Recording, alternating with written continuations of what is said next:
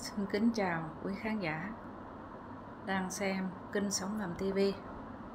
Hôm nay thì Bích Phượng quay trở lại cái chuyện mà của mấy thằng khủng bố ở Tây Nguyên đó, ở huyện Chư Quynh, ở xã E Tiêu và E Cờ Tua.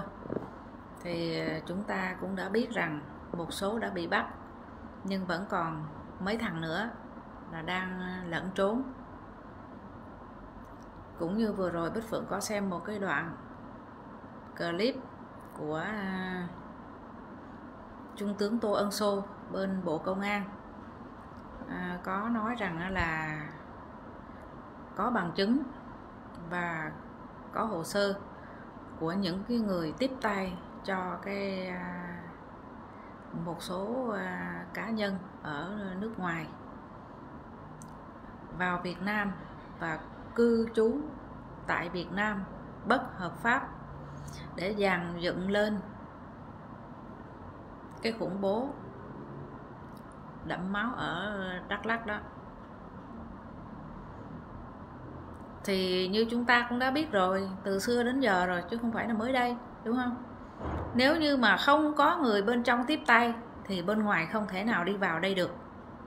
Đó bởi vì cũng cái những cái kẻ này là những cái kẻ mà tay sai mà phản bội đất nước phản bội quê hương vì những cái đồng tiền dơ bẩn vì những cái lời dụ dỗ của bên ngoài mà đã đang tâm à, dẫn dặt về giày xéo đất nước ta quê hương ta.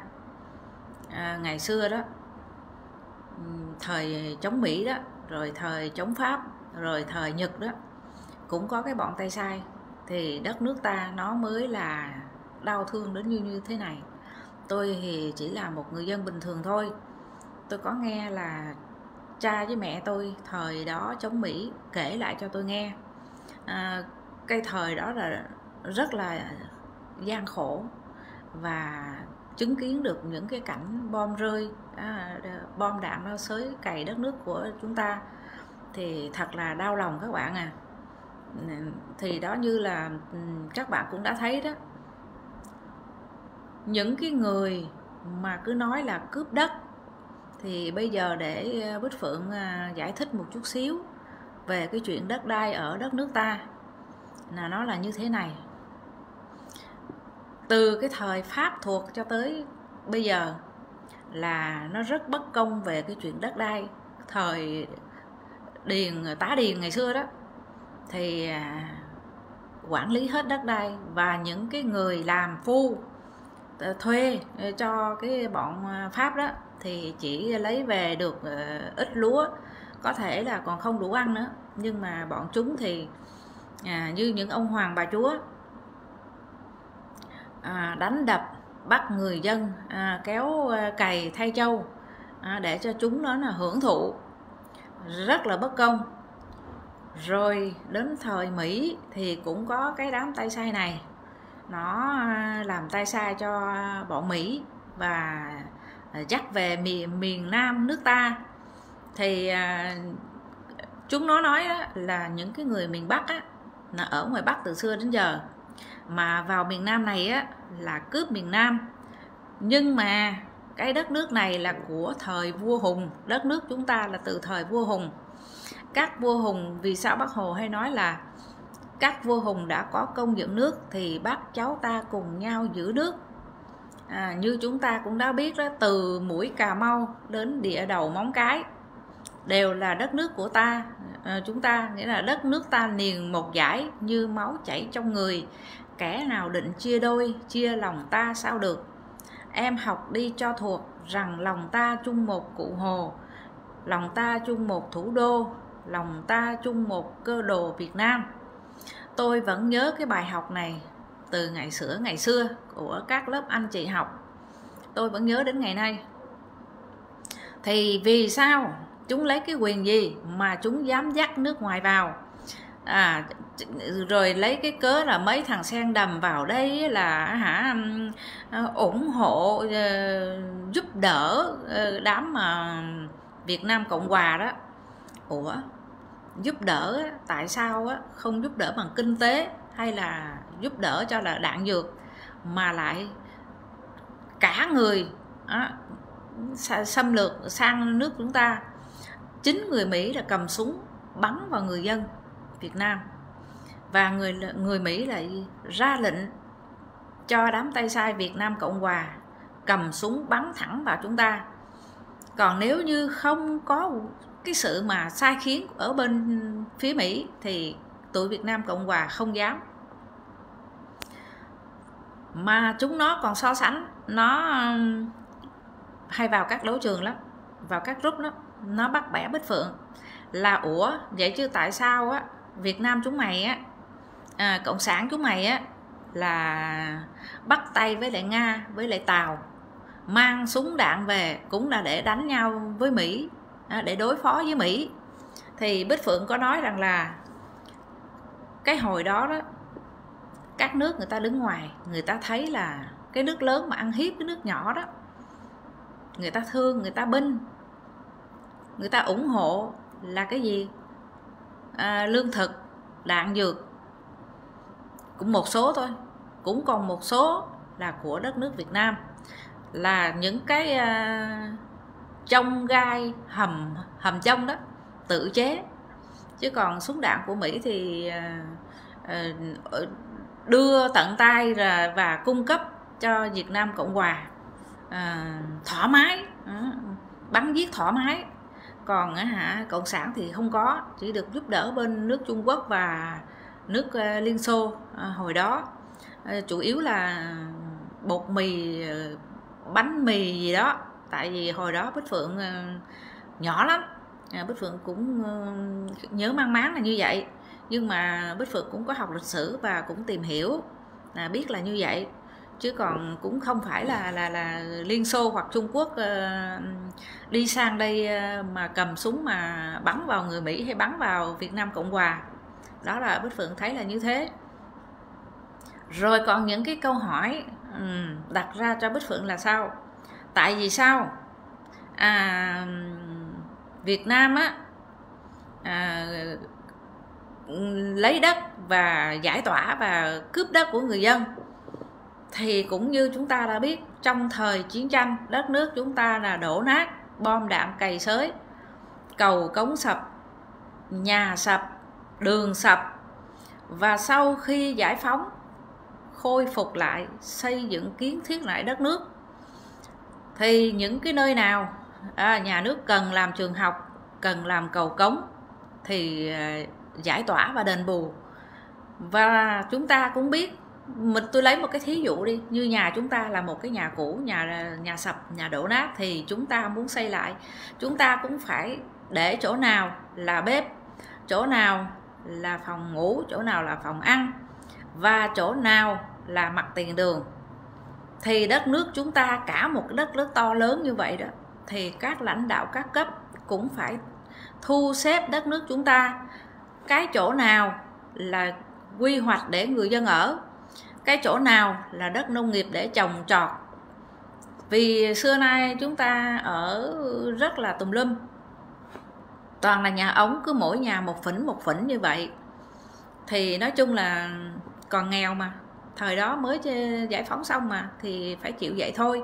Nhưng mà khi càng ngày càng đổi mới đất nước ta tiến lên thì chúng ta cũng cần phải đổi mới tất cả phải quy hoạch lại làm các khu chung cư và ờ, cũng như dân số cũng thế thôi. Ngày xưa thì dân số rất là ít. Ừ, mà à, trong cái thời chiến tranh đó ừ, nào là chống pháp nào là chống mỹ nào là chống tàu thì ờ, đất nước chúng ta hy sinh rất là nhiều. Còn bây giờ là thời hòa bình. Thì dân số tăng một cách là rất là kinh khủng. Đôi khi thậm chí là ờ, không còn chỗ ở nữa. Thì là sao? Thì là phải giải tỏa và phải kiến thiết lại. Ờ, bởi vì bởi vì cái tuổi này này thì nó rất là nhiều chuyện các bạn. À, chúng nó phá mà. Khi mà đất nước chúng ta nghèo nó chê nó nói là Việt Nam á, hả bao nhiêu năm á, không bằng ờ, Thái rồi không bằng Cam rồi không bằng nước này nước kia Hàn Quốc. À, đất nước người ta cũng sau chiến tranh á, thì người ta cũng là um, xây dựng lại nhưng mà còn nhanh hơn đất nước chúng ta. Đất nước chúng ta thì rất là chậm.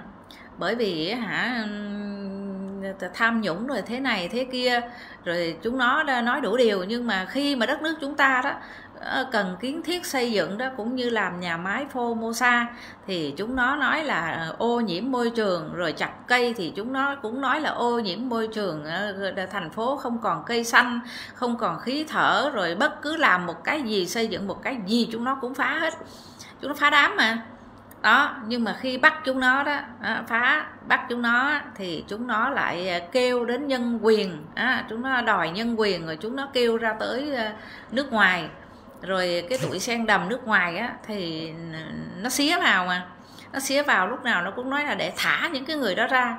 Nhưng mà ở đất nước chúng nó đó, thì hả ờ, dân đồ khủng bố rồi hả, bắn giết nhau ờ, cái súng ờ, xả súng tự do thì không giải quyết được, không có nhân quyền. Nhưng mà lại cứ xía sang đất nước người khác là nhân quyền. Mà trong khi đó là chúng nó phạm pháp là rõ ràng. Bởi vì vậy chúng ta mới thấy rằng á, là cái cái cái nhân quyền của phương tây nó mắc cười lắm. Thì à, như bích phượng cũng đã vừa nói là những cái thằng mà trốn truy nã đó thì bích phượng sẽ đọc những cái tên. Thì tên à, cũng à, của người dân tộc mình cũng khó đọc lắm. Thì Bích Phượng cũng ghi vào đây để đọc cái tên nó.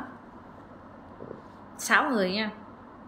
À, Y Hoai E Ban Nay Dương Lai Yên Lai Tam Y Juni E Y Kinh Niên là sáu người đang bị truy nã. Thì ờ, những cái hình ảnh truy nã của chúng nó đó, ở ờ, chắc ở công an nơi đâu, chỗ người ta cũng dán những cái mặt của nó. Nếu như chúng ta là những người dân, yêu nước, chúng ta hãy ờ, để ý đến sáu cái thằng này. Bằng cách là chúng ta hãy đến những cái phường xã nơi ờ, chúng ta ở đó thì chắc là có dáng hình của chúng nó. Để cho tất cả người dân để nhận dạng ra. Nếu như mà ai mà chứa chấp chúng nó đó, thì cũng tội rất là nặng. Bởi vì đây là mấy thằng truy nã mà đặc biệt nha. Bởi vì tụi này là cái tụi giặc à, tụi khủng bố tụi giết người không biết gốm tay giết đồng bào ta chúng ta không thể nhân nhượng như chúng nó chúng ta cần phải biết chúng nó ở đâu. Tất cả chúng ta cần phải nhìn rõ mặt để nhận diện ra chúng nó. À, nếu chúng ta cảm thấy bắt được chúng nó thì chúng ta bắt. Chúng ta cảm thấy không bắt được chúng nó chúng ta phải nhanh chóng báo cho cơ quan công an nơi gần nhất biết còn nói thật, nếu như bích phượng mà gặp mấy đứa này á, là bà thật, bằng mọi cách, dù cho có phải chết, Bích Phượng cũng phải la làng, cũng phải nắm giữ chúng nó này, phải cản chân chúng này la lên cho người ta biết. Bởi vì chúng ta cũng đã biết rồi đó, nếu như mà chỉ quý cái thân mình và sợ chết mà không dám. Khi mà gặp chúng nó rồi mà không dám làm gì mà để cho chúng nó tẩu thoát thì rất là uổng, rất là phí. Vì chúng nó mà trốn thoát được, mà chúng nó đi các cái đường mòn mà ra được nước ngoài đó, thì nó còn nguy hiểm đến cỡ nào. Chúng nó sẽ bắt tay với đám phản động bên nước ngoài, chúng nó sẽ có một cái kế hoạch khác trong tương lai. Chúng nó không bao giờ đâu nha các bạn, bởi vì xảy ra rất nhiều chuyện từ xưa đến nay rồi nhưng chúng nó chưa bao giờ, chúng nó ngưng cái ý định khủng bố, xâm chiếm nước ta. Cho nên tôi thà hy sinh, tôi thà mất mạng. Nhưng mà để tất cả mọi người cùng biết, cùng hô hào, cùng bắt chúng nó trở lại. Thời chiến tranh mà. Người ta còn khổ, người ta còn chết đến cỡ nào người ta thà hy sinh, chứ người ta không chịu mất nước. Thì tôi cũng vậy thôi. Nếu như mà tôi gặp được chúng nó với sức cái yếu của tôi thì tôi sẽ à, ôm chân nó lại, tôi sẽ la làng lên, tôi sẽ cản lại. Nếu như thật sự là như vậy, tôi sẵn sàng làm như vậy. Bởi vì ai cũng một lần chết thôi, chứ không hai lần. Tôi sẵn sàng. Nếu mà để chết mà để bắt được tụi này, tôi sẵn sàng. Tôi không tiếc gì thân tôi cả. Vì đất nước chúng ta còn hy sinh nhiều lắm mà, rất là nhiều mà. Chúng ta học lịch sử, chúng ta biết rồi mà, bao nhiêu thời, trải qua bao nhiêu thời mà, chúng ta chết rất là nhiều ông bà chúng ta, cha anh chúng ta chết rất là nhiều. Cho nên thêm một mạng, hai mạng cũng không có là là bao, nhưng mà để bắt hết chúng nó. Quy án. Thì à, các bạn biết rồi đó. Cái tuổi này nó là tuổi máu lạnh. Chúng ta không thể thương xót nó được. Nếu chúng ta thương nó, là chúng ta giết đồng bào ta một, đốm lửa thì nó không to, nó không lớn, nhưng nó có thể cháy rụi một đám rừng. Cho nên chúng ta, tất cả chúng ta phải quyết liệt bắt cho bằng hết chúng nó phượng rất căm thù, rất hận chúng nó.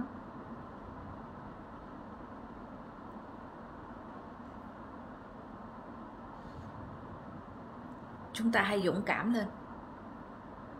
Hãy phối hợp với các anh công an. Bắt chúng nó giao nộp cho công an.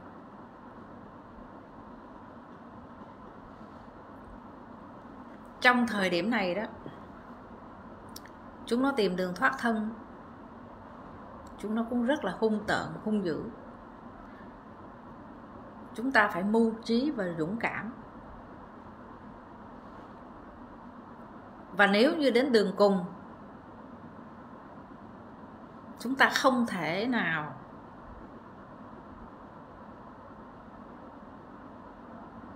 thì chấp nhận hết.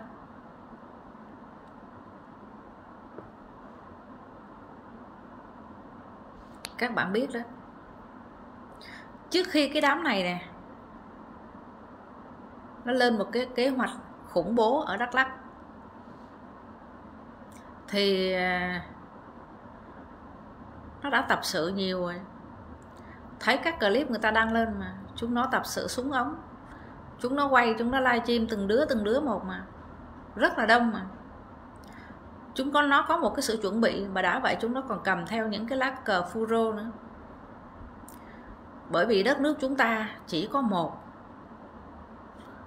lá cờ là lá cờ của đảng cộng sản việt nam, chứ không có bao giờ có hai lá cờ. Tất nhiên là thêm một lá cờ khác,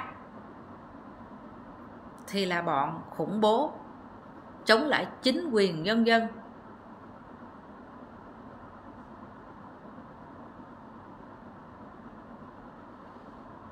Cho nên chúng nó là giặc. Tôi là tôi nghĩ vậy đó không phải là người việt nam nữa. Chúng nó đã theo giặc